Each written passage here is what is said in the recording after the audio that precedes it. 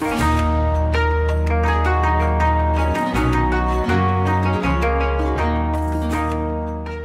to the Pixel Retentive Podcast, where we, a business owner and an artist, discuss the business of art and the art of business.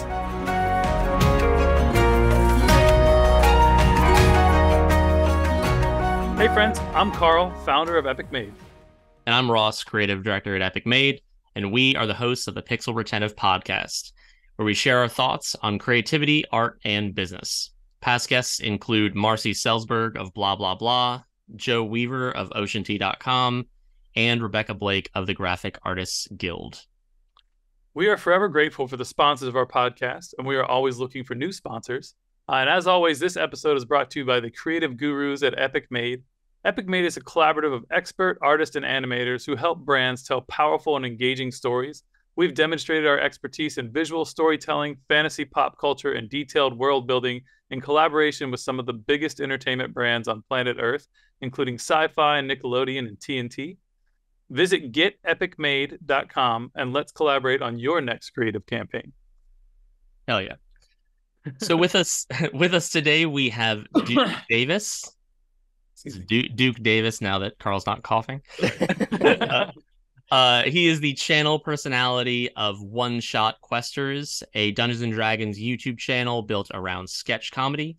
He's the leading cause of paladins throwing it back and wizards dying of 1d4 damage. He also likes to frolic through the flowers when the time's appropriate. Welcome, Duke. Pleasure to have you. Hey, happy to ha- whoa, happy to be here. Yep, that's me. We're, we're I'm great, great at talking. hey, man, we're keeping it light. I love it. I love. I know, yeah.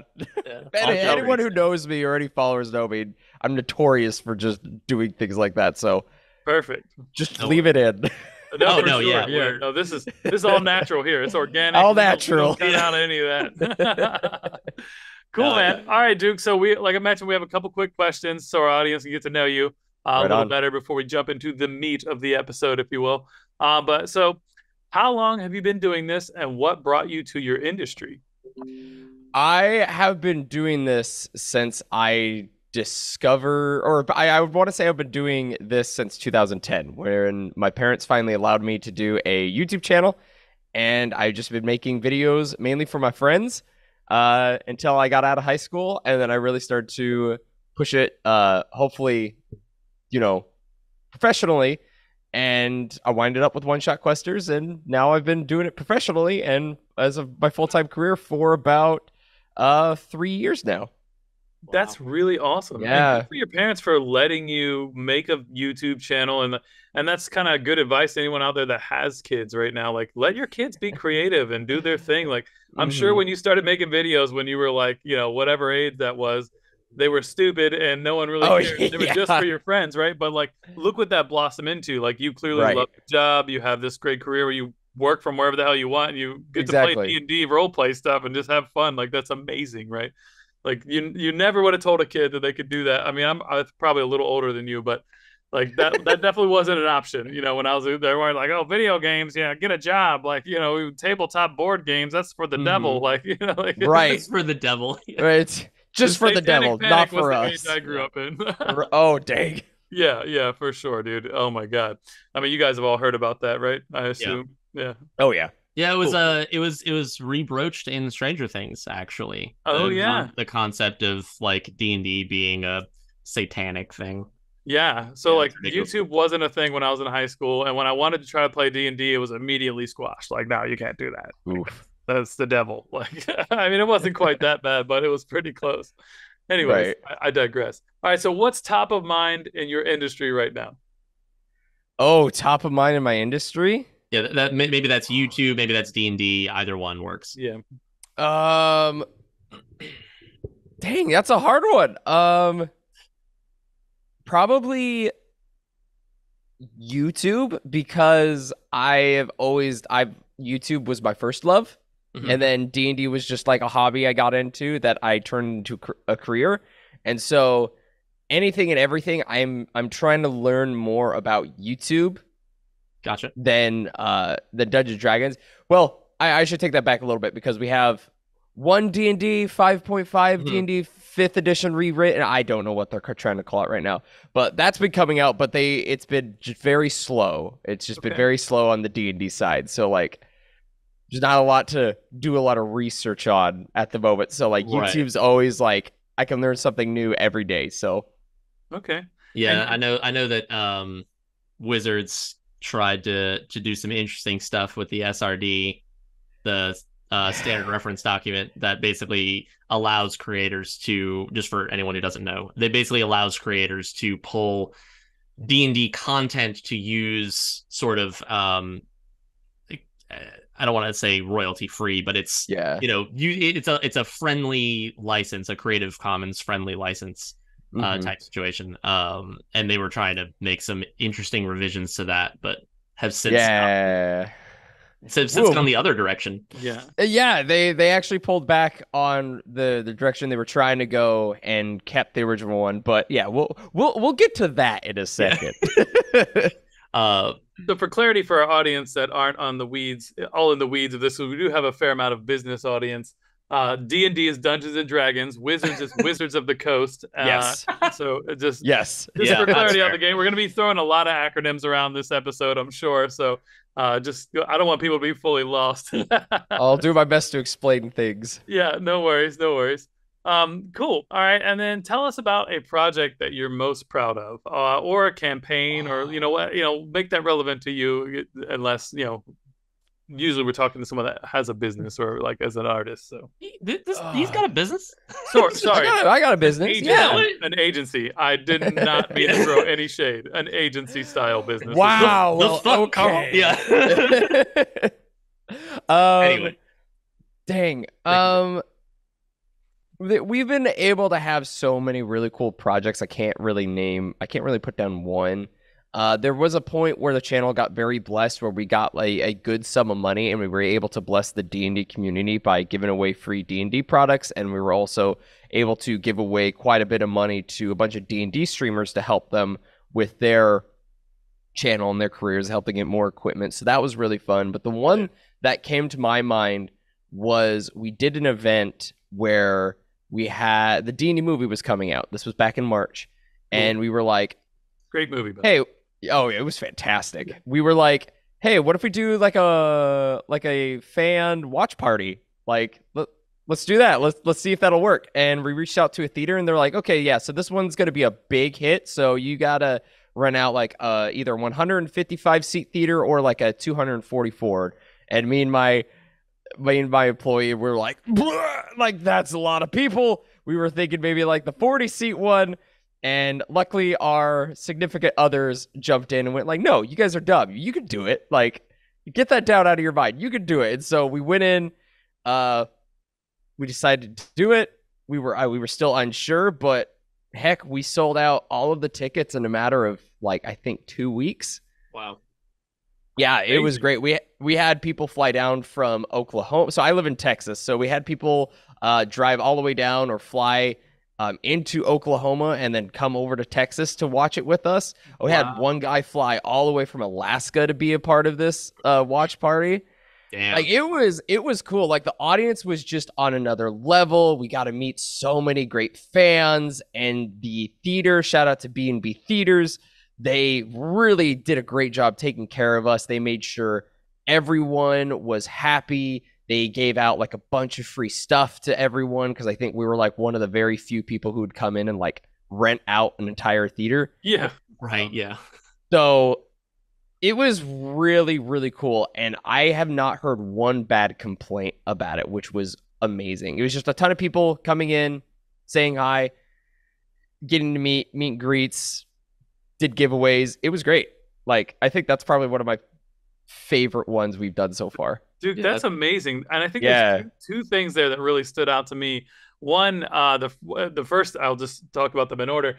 Um, having a significant other that believes in you Mhm. more than you know yourself sometimes is absolutely crucial. So like uh, that's Oh, yeah. that's so great, and I and I and I always see that when people find the right partner, it really empowers them to be their best selves, which is beautiful. Oh, 100%. the second part, holy shit! Like when you build a real community, Like Yeah. it really surprises you. Like people flying from Alaska to Texas Yeah. to watch a damn movie. Like that's fucking crazy. Oh my Yeah. god. But people love it and they love what you do and they love Mhm. this space and they're diehard raving crazy fans that do Uh-huh. ridiculous shit like fly from Alaska to Texas to watch a movie Right. with a bunch of other people that speak their language, right? So there's something there about community building that people really need to hear. That's Absolutely. massive. So Absolutely. And so, uh, speaking, you know, further toward that, today we're going to be discussing kind of what it took to build uh, a niche brand on YouTube, something around uh, specifically the Dungeons and Dragons or role playing community, and just kind of helping to inspire people who are going to be on the same journey that you're that you've been on for the last Mhm. decade or so, and um, just kind of get a little bit of an inside uh insider knowledge on what that took for you and and plug some some upcoming things that you've told us about that will be really fun Sounds good. so uh to start duke what what do you think the hardest thing to do on youtube it, like in terms of whether that's growing an audience or being consistent or like what, what's the most difficult thing because obviously it's not playing d&d or doing the skits part Right. right.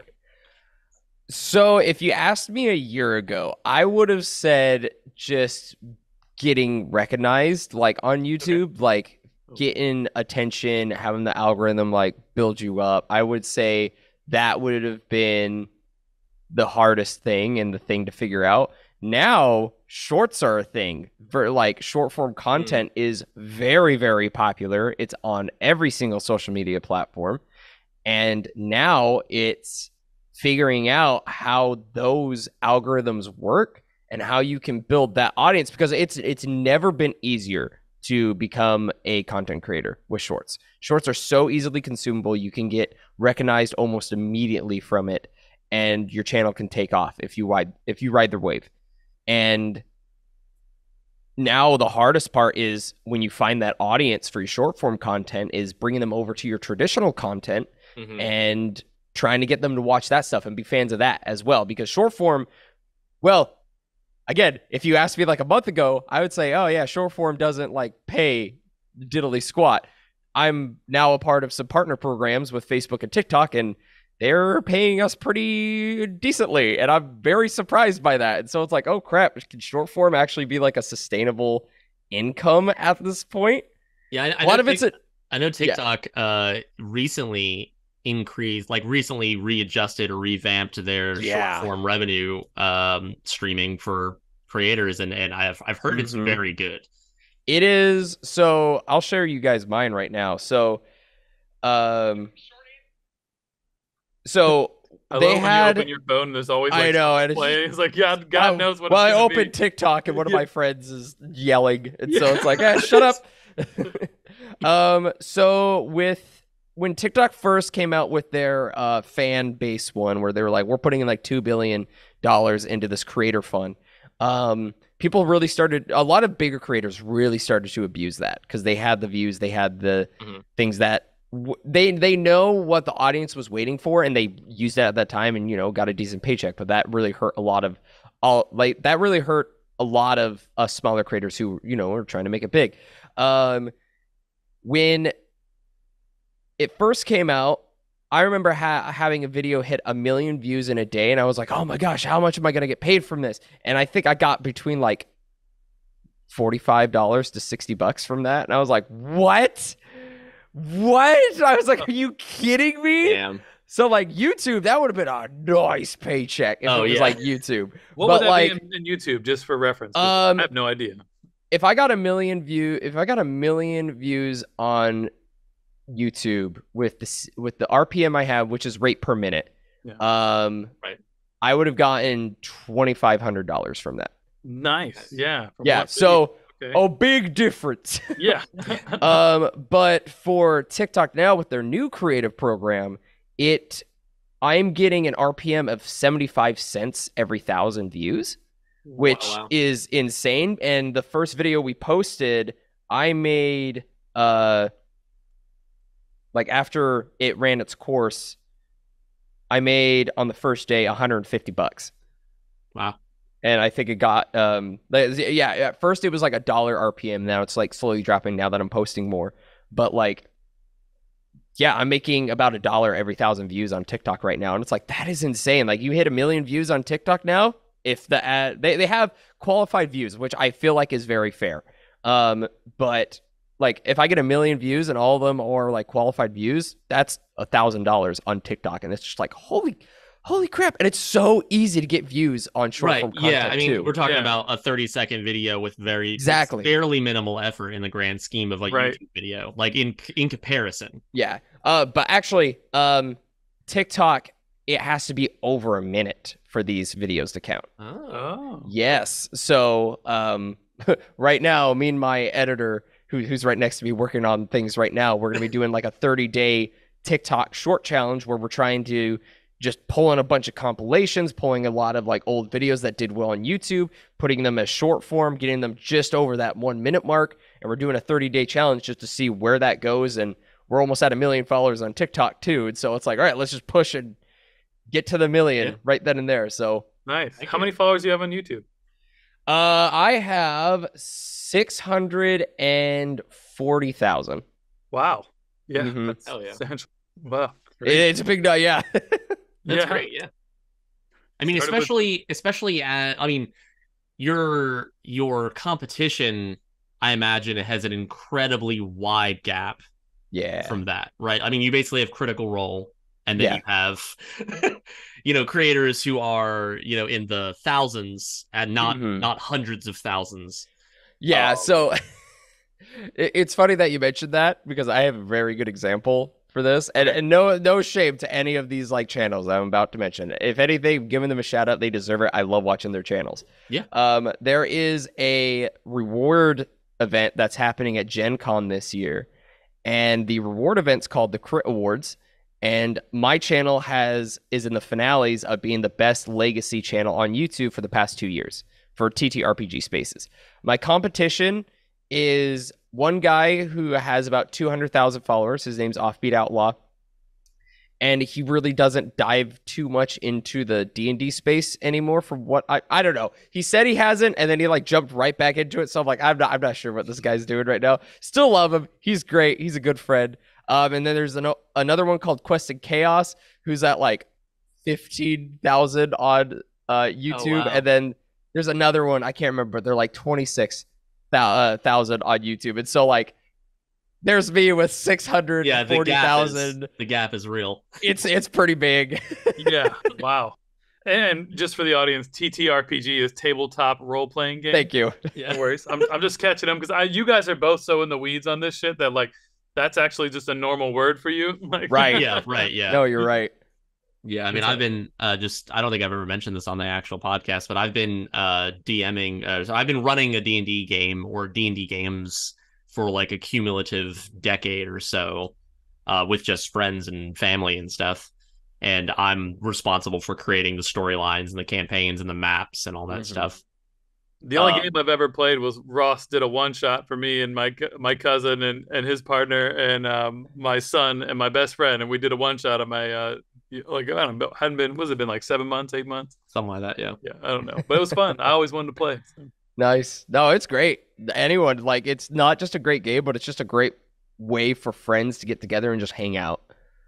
Well, you get to see a lot of character and personality from people, especially like forcing them out of their comfort zone and doing a little voice acting and trying to actually like Oh, yeah. in the, in the space. You know, we people, some people aren't aren't don't ever do that. Like they're very you know um stoic, and it just forces people out of that space, which is which is really cool. So, It also it also really reinforces um, collaborative problem solving and creative problem Mhm. solving, right? Like if you have a really creative, um, sort of inspired DM who's willing to put in the time on the back end because it's hours and hours of time on the back end to plan these Mhm. games in a way that like makes them really engaging and fun and um there there could be a lot of really interesting collaboration that uh, you would have never gotten to experience in the real world with your friends or family or even just you know co-players um and i think it, it it works kind of like a team building exercise I was thinking that. get yeah that you might that you might end up with in like even in a corporate environment. Right? So like who who's putting out like the corporate like D and D one shot like training team? Like we're gonna come in and do a team building exercise with you and all your stuffy corporate people here, and we're gonna we're gonna do we're gonna do D and D, and your boss is gonna be like the the troglodyte troll. You guys have to fight, like you know, Oh, yeah. like like that, that would be amazing. I think there's a market for that, but I don't know. Maybe I'm maybe I'm uh, delusional, but I think that could be cool. You can have that one, dude. That's all, dude. Just take it. Okay, all right, sounds good. I'm, I'm gonna Yeah. do it right now with with my Because- employees. becomes multimillionaire. No, Uh, yeah. uh, yeah, yeah. You get hired by Google and like Samsung and you know Verizon to Right. fly out there. Dude, there might be something there. Anyways, so um, I I want like so. What do you think was the biggest kind of moment like? In the rise of your YouTube channel, and then we can talk about mm-hmm. TikTok as well. But I think TikTok's probably more recent compared to YouTube in terms of like, did you build your YouTube community first, and then sort of like I that to get on TikTok, or so that's a very good question. So I was on YouTube for so long, and then so I had a channel before One Shot Questers called Duda Films. That was my startup channel. That's the channel where I made all of my mistakes, where I learned, and then made One Shot Questers, and it blew up. But it didn't happen organically. I actually jumped on TikTok um, and started making videos over there. And that's where my comedy and the attention for the channel started really taking off. I think my fifth video I posted it went viral.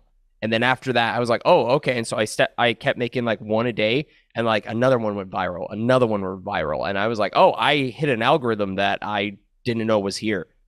And so like I started learning how what the algorithm likes, what doesn't like, and in about a month I hit a hundred thousand followers on TikTok, which was insane. Oh, And then um like almost every month after that, I was hitting like a hundred thousand, hundred thousand, hundred thousand, and like started getting the majority of that audience. Then obviously it started slowing down. But now D and D is like I almost say I, I almost want to say D and D is almost like a, a main part in the TikTok uh community feed because there's just like I don't know, I feel like we kind of did a little takeover with it. Um, but yeah, I, I once I build up my TikTok audience, I was telling everyone to go over to my YouTube, like go subscribe, go over here. This is where you need to like see all like the good stuff. And people started doing it and it took a little bit, but you know what? It it paid off in the end. wow. So what, what did- what did that conversion look like? Like uh, obviously you didn't just create a video that just Yeah. straight up said, "Hey guys, I have a YouTube video. Do this." Uh, Yeah. So you, uh, you know, obviously you're doing your sketch comedy on TikTok. That's Yeah. pretty self-explanatory. The the algorithm on TikTok is incredibly organic friendly compared to YouTube. Um, I would imagine at, le- at least no, uh, no, really no. interesting. TikTok is so okay. So like So debunk that a little bit for me. Yeah, I'm gonna Yeah. debunk that. Uh, but let me answer your first question. Uh, the transition with that was I would make a video saying like, "Hey, we go check out my YouTube channel," or like, "Hey, are you learning? If are you wanting to learn Dungeons and Dragons? Head over to my channel and I will teach you how to play Dungeons and Dragons." So that was the start of it, Hmm. and then I um um after doing things like that, I would start posting little snippets of the comedy sketches that we would do. And so I would say, like, if you want to watch the full video, go over to the YouTube Mm. channel. And so I started doing that, and that actually did fairly well. Okay, so getting little Um, bites, get people excited, and like, hey, the whole sandwich is over here. So okay, Yeah. Like so, um, one second, my wife is isn't trying to get in the camera shot right now. She's currently crawling on the floor. my You wife can does stand the same- up. It's fine. My wife does the same shit. It's great. Like uh, my kid will do it too, trying to like hi- like take the dogs out. You know, uh, it's great. Yeah, she she's a big part of this. She's the one who introduced me to D&D. Wife, so you jump on the show. Get, yeah, pass by. Jeez, I'm hearing like I'm hearing something to my right, and I'm hearing giggling going on. I'm like, what is going on? you can come on. Hello. Hello. welcome, welcome. Good to see you. Thanks for supporting the the uh, movie theater idea. Oh, They she- said they said thanks for they said hello and thanks for supporting the movie theater idea. Oh yeah. you mean pushing the movie? She said, uh, "You mean pushing the movie theater Yeah. plan along?" Yeah. So yeah, love it. That's right. She believed in the Yeah. idea and you, and your ability, right? So that's amazing. Uh huh. Okay, so moving on to the next part of debunking the algorithm with uh between TikTok and YouTube. YouTube will reward you if you come up with something clever and eye catching. Okay. And so, like, that's where Ryan Trahan has really started going well. That's why Mr. Beast started blowing up. He did something new, he did something eye catching, he did something original. And Mhm. so, those videos usually do very, very well. TikTok algorithm, and you could you could go on TikTok right now and you will be able to know what the trend is at the moment. You TikTok will reward you for following the trends. Mm, okay. And that's what's hard because like I open up TikTok and I see the same. So as of right now, time of recording this, it's like the it's it's Bill Hader doing this dance and there's like this music going on and it's it's the same video from almost everyone who's posting it. Same cutout of Bill Hader dancing and it's just different text and those videos do really well. And you get rewarded and the algorithm will push that out because it's what's trending. And if you try to do something usually outside of that, usually doesn't do very well. Mm, And so that TikTok is the the I, I think this is the right word, but like TikTok is very like communist. that's the best way I can put it. Like that's how it feels. Like, oh, you got to follow the trends. All right, I'll do this. Oh, the channel's blowing up. I have over. I almost have a million followers. Okay, I'm gonna make a video, uh, letting people know where to find me in case like something happens. Okay, cool. This video only got a thousand views. What? Right. yeah. So like, it's TikTok literally looks at your stuff and picks and choose what's gonna get pushed out and what doesn't get pushed out to your audience, and it's very frustrating. Interesting. Hmm. Yeah, I've uh, I've been trying to build up my TikTok um, at Colorful Carl, and uh, I just make art reveals and do like before and afters.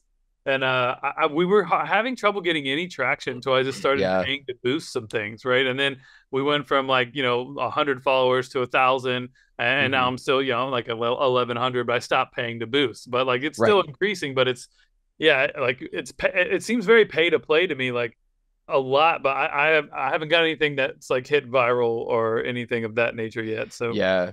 I mean, if it's like if you want to do like the hit viral stuff, which th- again, this sucks, is you got to do what everyone else is doing, yeah, and, and that as like us as creators, is it fun? Like we we want to be creative. Like sometimes following the trends is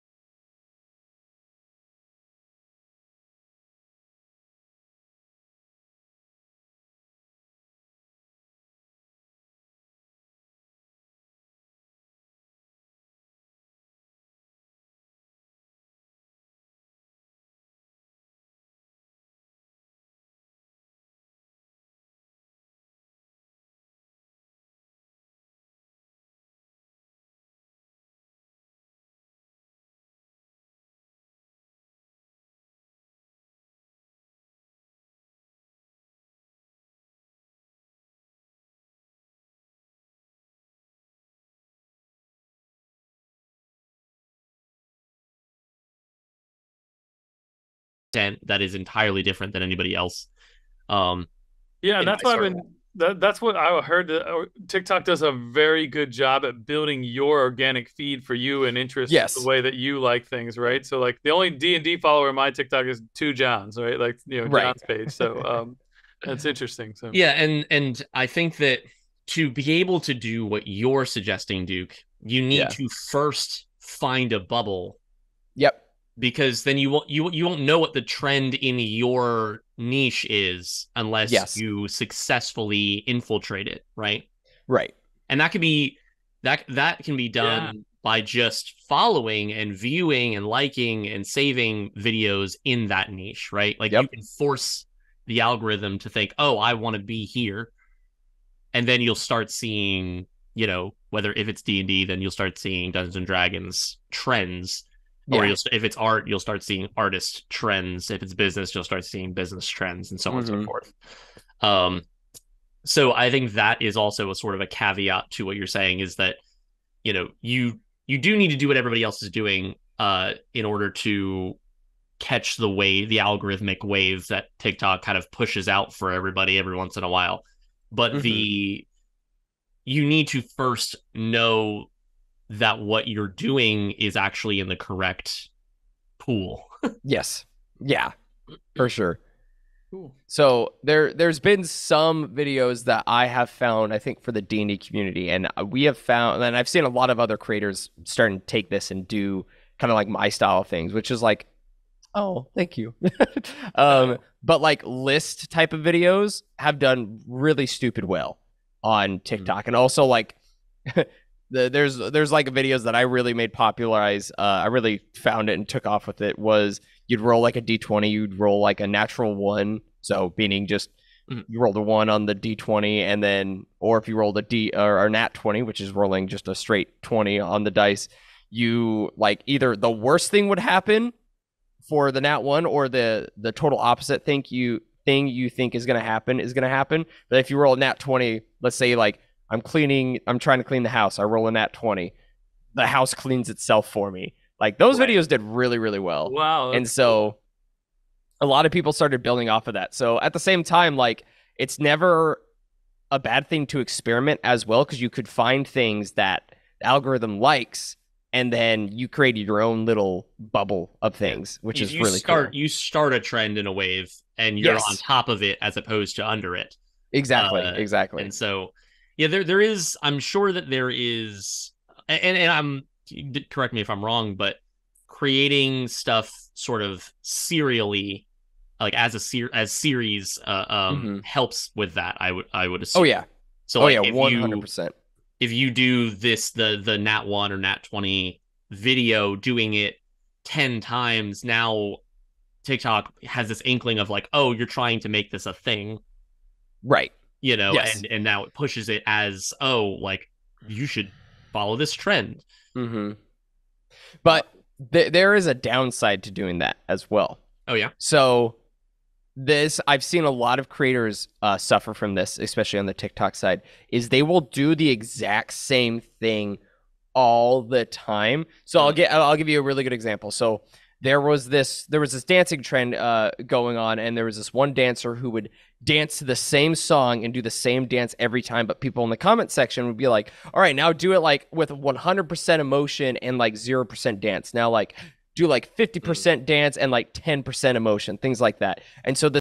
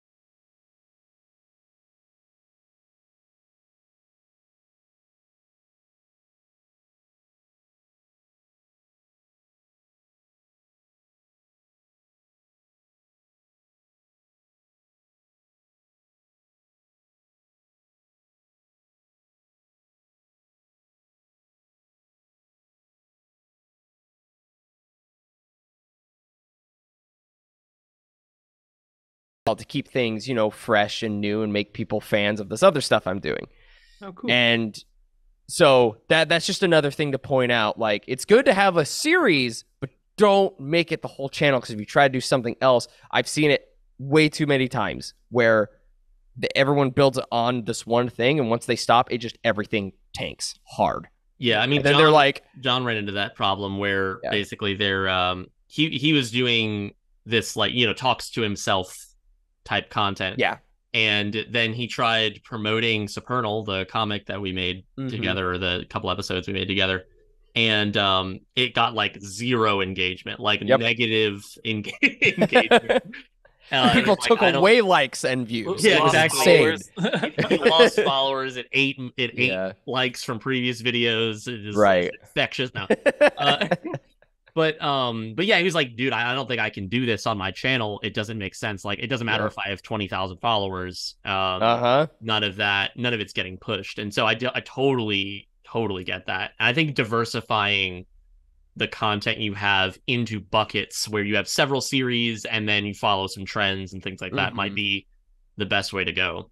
And YouTube is like that too, isn't it? Where you kind of if you if your whole channel is one thing Yeah. and then you deviate from that, it just gets tanked. At least that's what I've heard from other creators.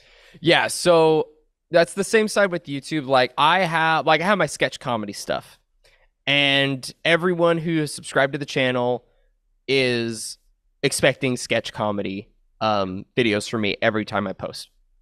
If I post anything else, the videos just tank. Like they don't do very well. It's hard to get over 20,000 views at times where my videos are easily getting over um well back before Wizards of the Coast stuff happened, I was getting like over 100,000 views in a day on a video I would post. Things were going really, really well. And um, if I posted something other than that, it just didn't take off. People didn't really like click on it. And it just was like, eh. I mean, it happens. Again, people subscribe for the thing you are that they are watching for. And if you start posting things that they didn't ask for, they're not going to click on it because it's like, oh, I didn't like this isn't something I was wanting, so I don't really care for it. And that's like that's just human nature. That like that's like you guys following an art channel and they decided to play a game. And you're probably gonna be like, I'm not gonna watch them play a game. I want to watch them make art. So Yep.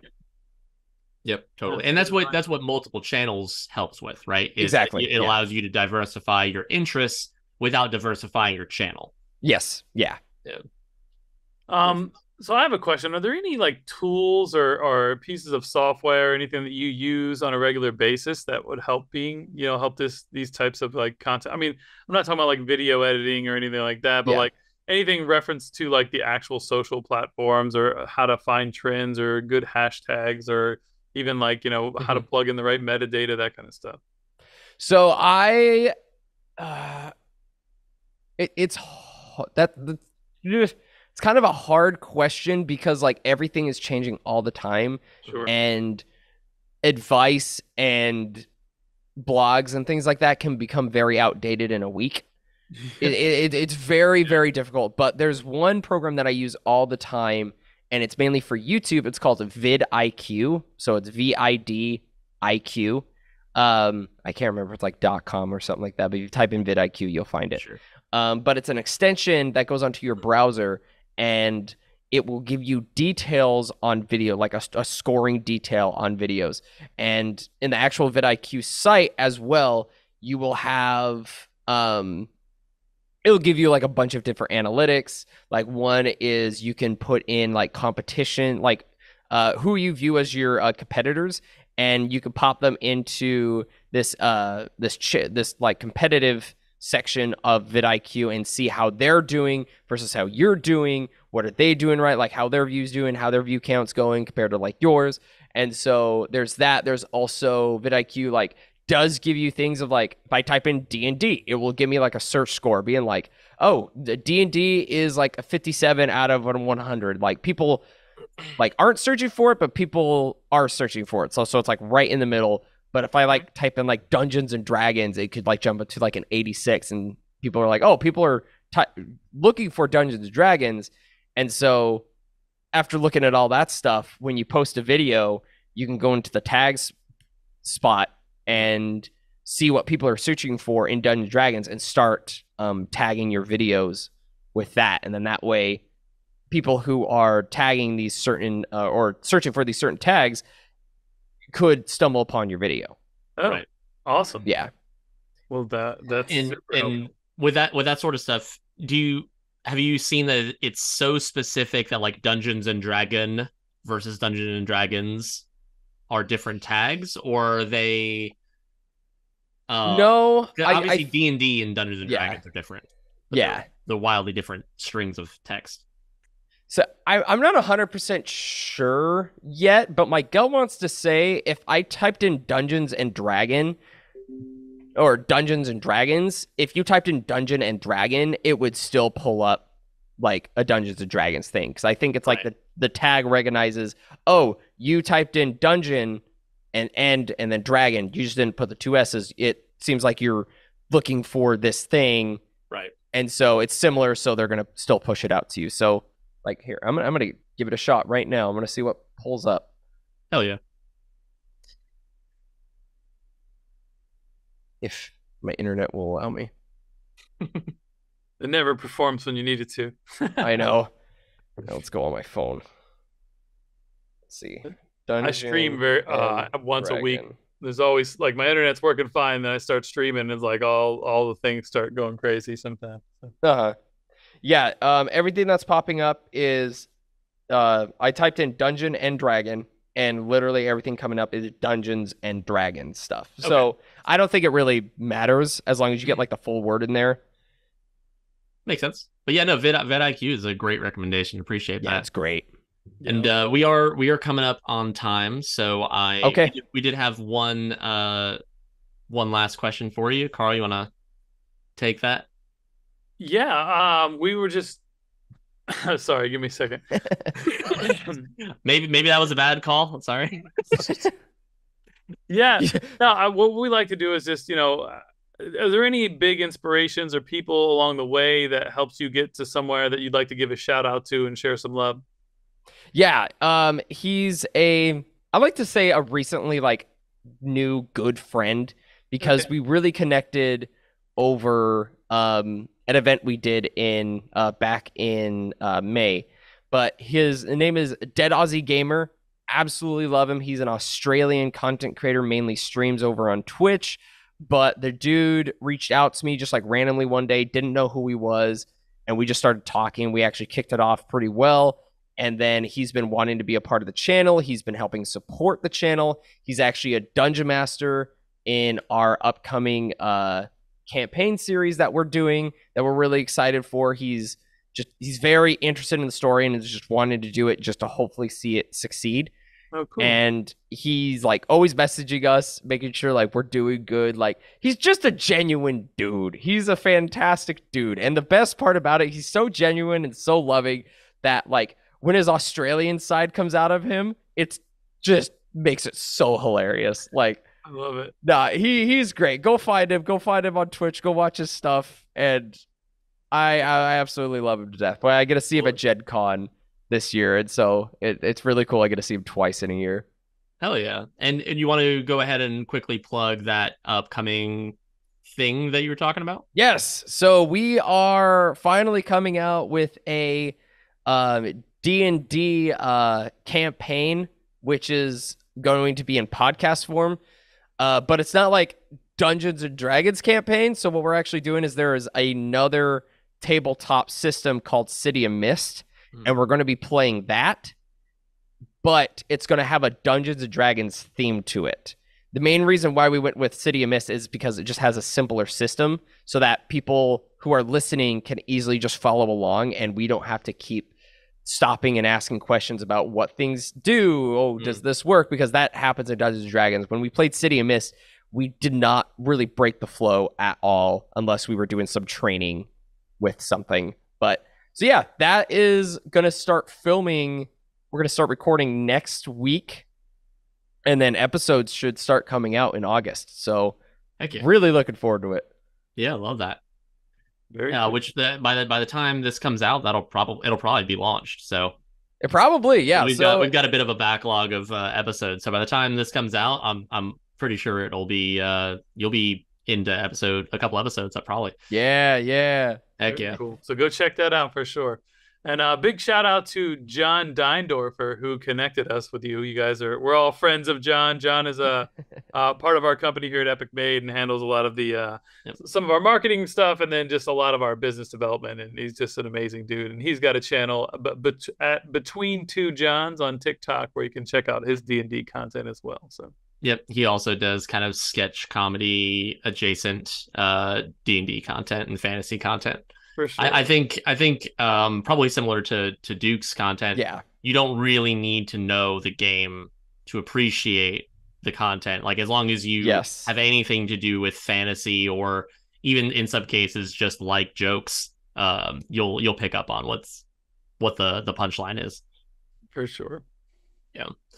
Awesome, man. Well, thanks so much, Duke. We really uh really had a lot of fun having you here. Uh, it's been a welcome break from uh from uh, from kind of the art business side of things Right. or in the content creation side of things which Yeah. i think is also an incredibly uh important part of anyone who runs a business Yes. just uh I, I think that everything we talked about today is directly applicable whether you're running a d&d channel or you're running a accounting channel um so For sure. you know we'd much rather be talking about the the d&d side of things too so right. I love, I absolutely love talking about the business stuff because Yeah. I, I think like in my niche of friends, I think I'm the only one who's really like really invested into the business side. Everyone else is more of like the community and just kind of doing it more for like the ride. But for Mhm. me, I'm like very more like this is a business. This is what I want to do for the rest of my life. And so like, Yeah.